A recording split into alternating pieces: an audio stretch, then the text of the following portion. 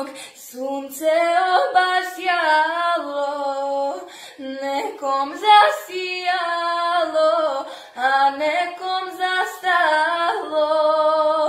To su jutro zgrešne i zemaljske sile na Božiju kuću jasno udarile.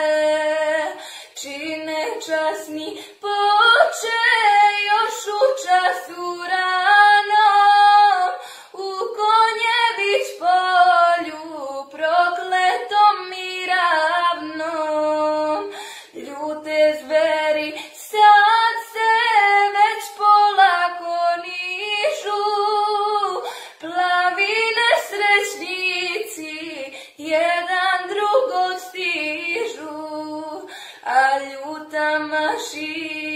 Syna, pravý prílez, praví, pravoslavnú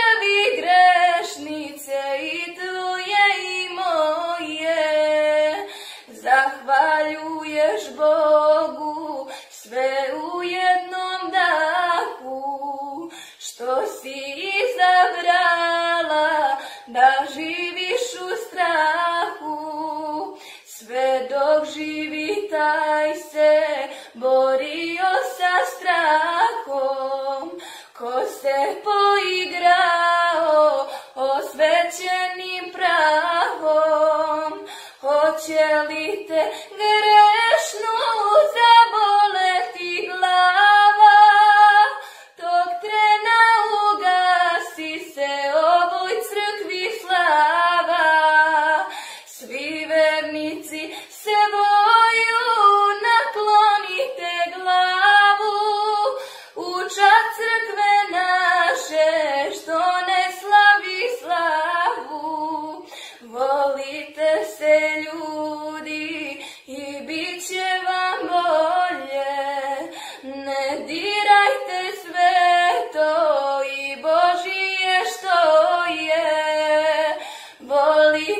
Hilfe,